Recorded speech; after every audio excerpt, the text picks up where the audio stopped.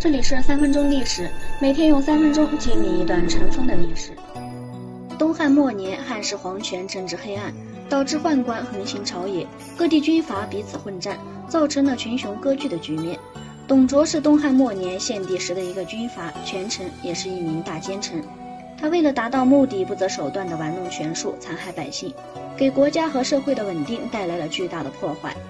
董卓曾在陇西郡府担任官吏，负责地方治安。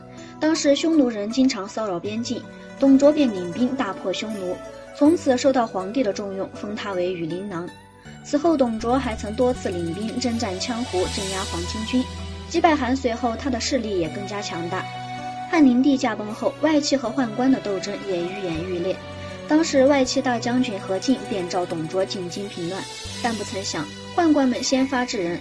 在董卓大军到达洛阳前，何进就被杀了。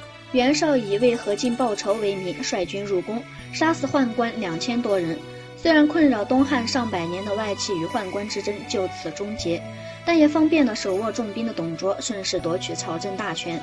董卓夺权后，废除了少帝刘辩，立了九岁的刘协为傀儡皇帝，并自封为丞相，完全控制了中央政权。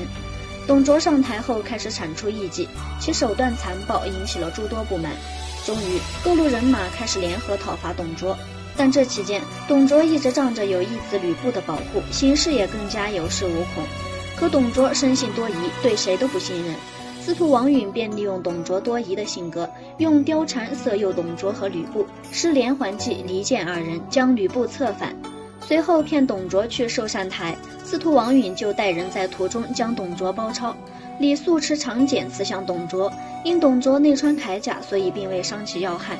当李肃再次刺向董卓时，董卓情急之下大喊：“吾儿奉先何在？”可没想到吕布从他身后跳出来，竟然说了一句：“奉诏讨贼。”直到此时，董卓才发现吕布背叛了自己。说完，吕布便一剑刺死了董卓。叱咤风云的董卓可能到死也想不明白，吕布为何会背叛自己。而他死前说的这六个字也流传了下来，成为现今很多年轻人形容自己孤立无援的情况。好了，今天的故事就讲到这里了。如果喜欢我们的视频，可以点击右下角关注我们，咱们下期再见。